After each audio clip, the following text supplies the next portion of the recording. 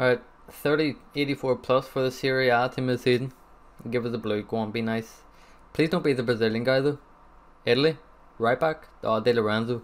He's only about 57k. Hopefully, it's like a team of season moment behind us. No, that is shocking.